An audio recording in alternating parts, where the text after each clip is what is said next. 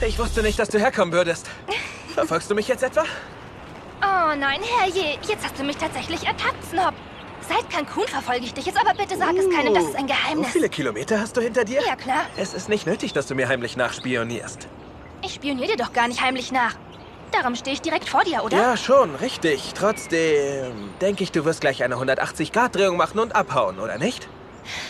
Pass auf, das könnte ich natürlich tun. Aber ich bin doch voll entschieden schneller als du. Wenn du versuchst, mich einzuholen, geht dir sicher die Puste aus. Ja, also wenn du nicht. meinst, aber weißt du, was ich bin? Ich bin viel geschickter als du. Oh, Matteo, Oh. du bist so süß. Du kannst es nicht mit mir aufnehmen. Ja, wieso oh, finden wir es nicht einfach heraus? Es geht mir um die Wette. Du lässt dich mitreißen und ich möchte, dass du zumindest für einen Moment die ganze Welt um dich herum vergisst und nur auf dein Herz hörst. Siehst du? Jetzt solltest du es langsam endgültig checken. Du bist kilometerweit davon entfernt, Matteo zu erobern. Nicht nur kilometerweit, sondern Lichtjahre davon entfernt, Emilia. Pass auf, mir ist klar, dass es dir mit deinem Spatzenhirn schwerfällt, das zu verstehen, aber dass Luna deine Rivalin war, heißt noch lange nicht, dass sie auch meine sein wird. Okay? Und da bist du dir sicher?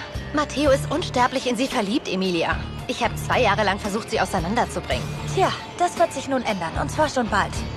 Matteo wird mir gehören und ich habe schon den perfekten Plan.